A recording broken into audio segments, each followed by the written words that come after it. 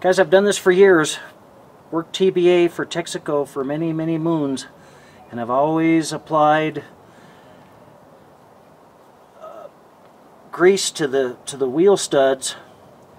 It's just a wheel bearing grease. I'll tell you what, man, I have had more problems with lug nuts breaking off of studs, or breaking the studs themselves, I mean, from a dry uh, stud, wheel stud, rather than one that's been lubricated. I've never had any trouble. The lug nuts are not going to loosen up because it's on a surface that's lubricated, but they sure will bust off. Uh, you'll break them if they go on dry and stay on for any, uh, you know, good amount of time. So I've always done this. In fact, uh, the Toyota 4Runner, uh, my wife's 4Runner, uh, they use a copper-based anti-seize on their lug nuts, uh, wheel studs, I mean. And, uh, you know, if I wasn't such a tightwad, I'd probably put a copper base uh, on this. But this is a big old motorhome. This is not a vehicle that we go out off-roading with and, and put through the paces as we do with her 4Runner. So the old-fashioned uh, wheel bearing grease I think is adequate and I've used it for years on all my pickup trucks now the motorhome and uh, guys I'd like to say this is really a good way to go. You're going to be torquing this down to 140 foot-pounds and they will not loosen because of the grease. I'm sure there's going to be some people arguing with that but hey that's okay. This is what I do. Great.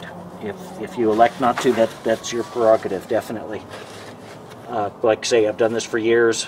Been doing it uh, probably since the late 80s and never had an issue one. But have had many issues busting wheel studs uh, that have just been torqued on and been on for years. So anyway, let's get this wheel on. This is uh, this is actually one that's uh, keyed kind of interestingly. Let me get the wheel, bring it over, this can always be a, a lot of fun.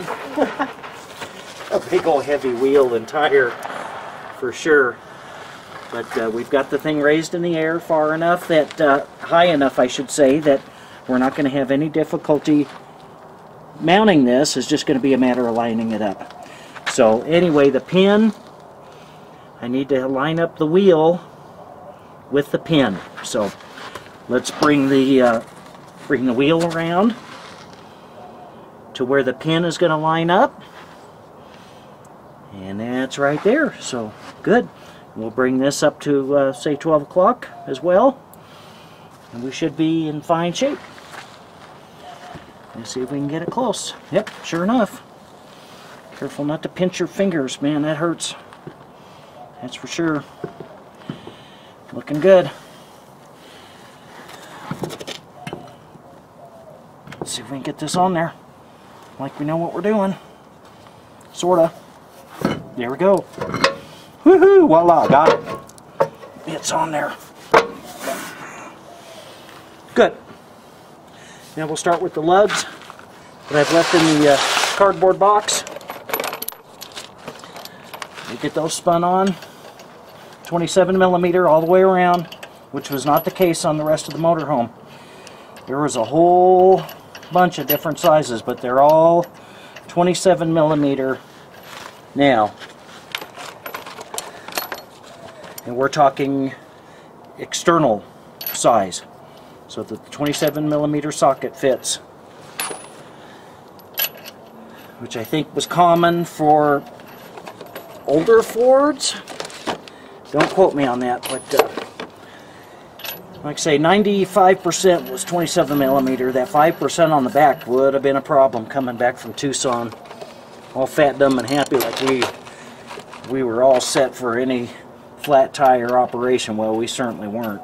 That's like putting a spare tire on that's the wrong rim. So, anyway, here we go. We'll get these on, and then uh, we'll set the wheel down once I get them snugged up, and I'll show you uh, the operation on the uh, torque wrench that we use. Show you a little trick here. Take the clawed hammer, stick it under the front tire, and that'll help uh, keep the tire from turning. Put a little foot action there. And we're just going to snug these lug nuts up a little bit. Cross pattern as usual. Get the wheel on square. And we'll just get this thing kind of snugged up and then we'll set it back down on the ground. And I'll get the torque wrench out. And just follow along here with your cross pattern. And this, uh, this was not very effective here with the hammer. Let's see if we can get something else under there. Maybe keep it from turning just a little bit. Okay, that's much better. There we go. So we're gonna do the cross pattern, get the lug nuts snug. A little tricky with all these lug nuts to make sure, but just give it an effort that you're doing a cross pattern. Make sure you got all of them pretty snug. See, missed that one. Sure haven't missed that bumper with my knuckles, so that's painful. Bummer. Anyway, get the hammers out. Then we're going to get the jack out, jack stand.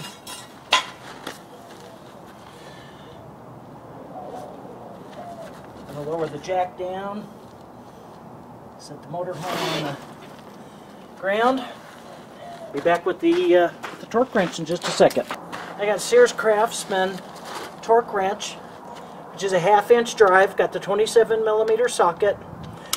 Got this dialed into 140 foot-pounds, which is what is recommended by Ford on these lug nuts.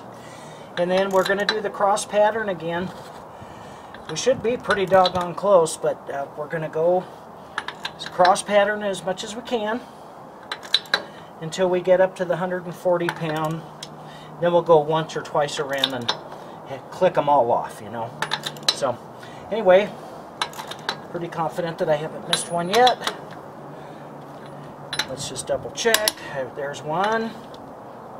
There's two at 140. 140. 40. And so on and so forth. So let's go one time around. Make sure they're all sitting at 140 foot-pounds.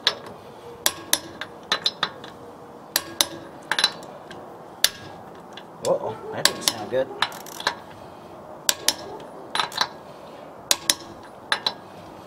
Still seems reasonable. First time that wrench has ever malfunctioned on me. Of course, naturally. Trying to make a YouTube video. Alright guys, it's been a real pleasure. Uh, like to bring you some more videos as I have time and uh, and uh, really enjoy doing this and uh, be sure to like and subscribe and all that happy stuff. Anyway, God bless you guys, and I hope that this has helped somebody out there, and, uh, and peace out. Okay, modest means.